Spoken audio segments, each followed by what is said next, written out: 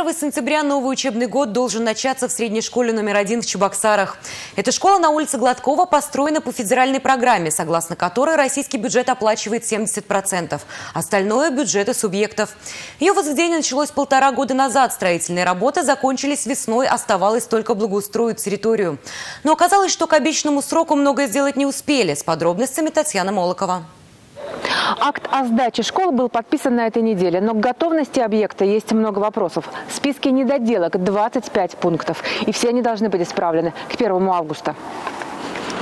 Основные претензии к стадиону. На прошлой неделе площадку здесь залили бетоном, но он застыл неровно. Пришлось переделывать. Генеральный подрядчик и представитель надзорной организации обещают, что на следующей неделе здесь уже будет уложен асфальт и начнется монтаж резиновой дорожки. Асфальт, как положим, неделю надо выдержать чтобы асфальт. 21 июля.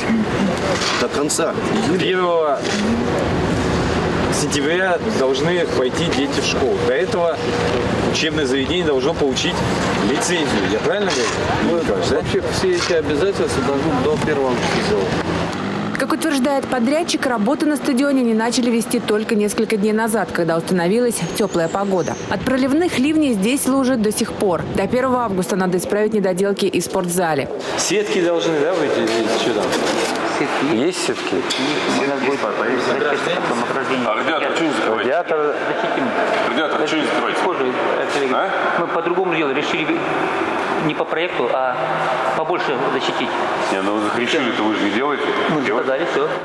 Много работы осталось еще в мастерских. Здесь надо отциклевать деревянный пол, покрасить стены, установить оборудование. По словам представителя генерального подрядчика Сергея Лаврентьева, сделать это они пока не могут. Полы сырые, дерево должно просохнуть. Но в любом случае, через неделю здесь все будет готово, уверяет Сергей Лаврентьев комиссию во главе с председателем Кабинета министров. Все у вас на следующей неделе, да? Приехали. Генеральный подрядчик ищет оправдание срыву графика. Есть замечания, которые переделываем. Получилось Первое, э, наверное, не, скажем так, недостаточно грамотная организация работы как генподрядчика. Второе, это все-таки объект строился в сжатые сроки.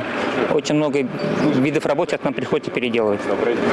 И есть проектные изменения, да, которые тоже а, в ходе, в ходе проверки, в ходе, в ходе инспектирования разных а, инспектирующих организаций, а, у них новые требования, нам приходится переделывать. Между тем, в арбитражном суде Чуваши рассматривается дело о банкротстве строительной компании. На некоторые работы Алза привлекла субподрядчиков, и они жалуются, что с ними никак не рассчитаются. Есть такая, полностью не рассчитались еще. И с нами полностью не рассчитались, и, и мы с субподрядчиками полностью не рассчитались еще. Ну, вообще говорят, что бюджет средства перевел. Не вся сумма, не весь объем. Строительство этой школы обошлось почти в 700 миллионов рублей. Средства, которые предусмотрены по проекту, вовремя ушли генеральному подрядчику. Ситуация напряженная. Подрядчик свои обязательства вовремя не выполнил. Соответственно, сейчас э, работает и город, и Минстрой, э, форс-мажорных обстоятельств, чтобы мы вот в эти 10 дней уложились. К 1 августа на объекте надо не только завершить строительные работы и благоустроить территорию, но и получить лицензию. А для этого пожарный, Роспотребнадзор и другие организации должны успеть проверить готовность школы к новому учебному году. Татьяна Молокова, Игорь Зверев, Республика.